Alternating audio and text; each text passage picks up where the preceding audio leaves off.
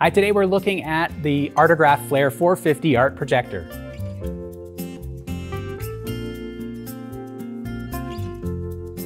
I am Scott Maier with Artist Network and host of Drawing Together, and we're looking at the Artograph Flare 450 Art Projector. Now, this is a small and lightweight art projector that's perfect for working in the studio. You can mount it to a, a tripod or you can work with it on a tabletop like this. It's really useful when composing images as well as scaling. So I work out in the field and I'll work with a small um, study and I'll need to bring that into the studio and scale up to a larger size. And working with a projector like this can be really useful for that. All right, so let's take a look at some of the key features in this projector. So it's got controls built into the top here, as well as a handy remote. It has multiple inputs, so you can load images onto a USB or micro SD card. You can also plug it into your computer using an HDMI cord.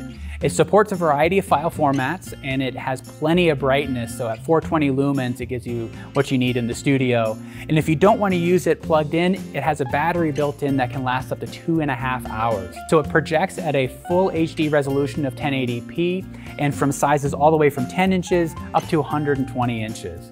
It has built into it these 12 grid patterns, which are really interesting. That can be helpful when you're composing your image or if you're using a, grid to transfer a likeness to your surface. It has multiple brightness settings and it has a keystone adjustment to get that um, projection onto your surface just right. So go to artograph.com and check out the Flare 450 art projector today.